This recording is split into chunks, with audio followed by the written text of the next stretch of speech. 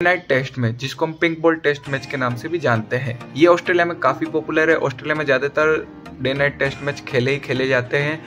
तो इंडिया में भी बहुत से डे नाइट टेस्ट मैचेस खेले गए चाहे आप बांग्लादेश वाला डे नाइट टेस्ट मैच देख लीजिए, या श्रीलंका वाला देख लीजिए इंग्लैंड वाला देख लीजिए।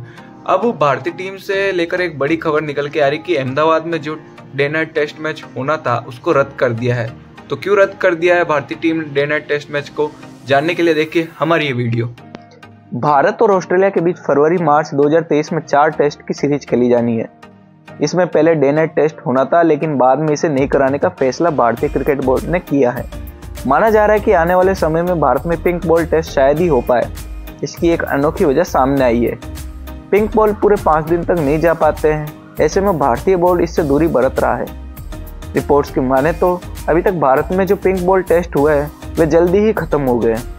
भारत ने अपनी घरेलू ज़मीन पर कोलकाता के कोलकाता के ईडन गार्डन में बांग्लादेश के खिलाफ, अहमदाबाद में इंग्लैंड और बेंगलुरु में श्रीलंका के खिलाफ डे नाइट टेस्ट खेले हैं। इनमें से कोई भी पाँचवें दिन तक नहीं गया। बांग्लादेश वाला टेस्ट तीन तक इंग्लैंड वाला दो दिन और श्रीलंका वाला तीन दिन के अंदर निपट गया था। दुनिया भर में हुए डे नाइट टेस्ट को देखा जाए तो 20 में से केवल छह टेस्ट ही आखिरी दिन तक जा सके। दो टेस्ट तो दो दिन में ही खत्म हो गए। अहमदाबाद में होना था पिंक बॉल टेस्ट मैच। एक बीसीसीआई अधिकारी ने बताया कि इसके चलते कई मसले उठते हैं। विशेष तौर पर दर्शक पाँच दिन के हिसाब से टिकट लेते हैं। इसी वजह से भारत ऑस्ट्रेलिया सीरीज़ में कोई डे नाइट टेस्ट में नहीं है। पहले एक टेस्ट इस तरह का होना था और इसे अहमदाबाद में कराने की योजना थी।